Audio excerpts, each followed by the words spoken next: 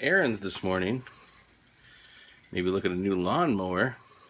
Hey, what are you doing? No, you can't come with us. All you do, every time you come with me, all you do is smash. Ah. Ah. Kind of want to order some ribs now. The first stop of the day. In the market for a new hat.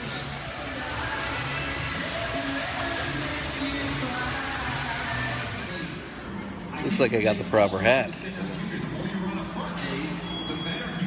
Now we're gonna sit around and watch some NASCAR.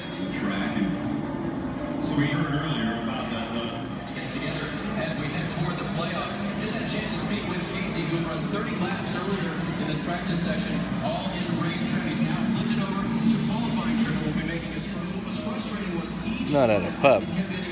Not a freaking mall. The greatest TV area ever. So I got my new Pro Bass hat. Now I gotta go check out some lawnmowers. So I can go home and get my grass. I still want ribs. Look at those things.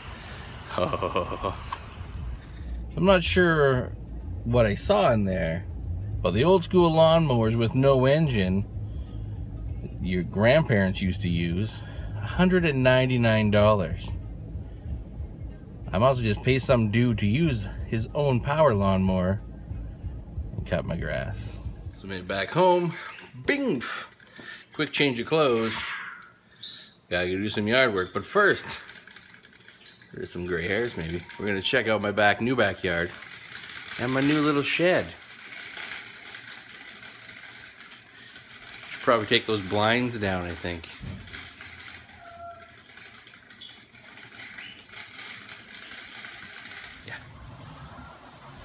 Got my own palm tree there. Some water on the grass there. This is my backyard.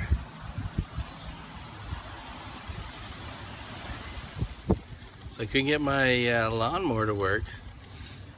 So I made barbecued burgers instead.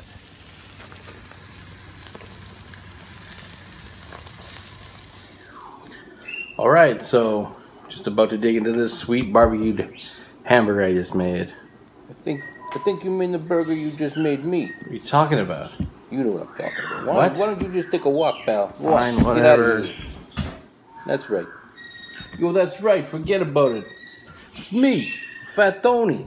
And there's no way I'm letting that guy eat this burger without me. Yo, is that my hat? It might be your hat.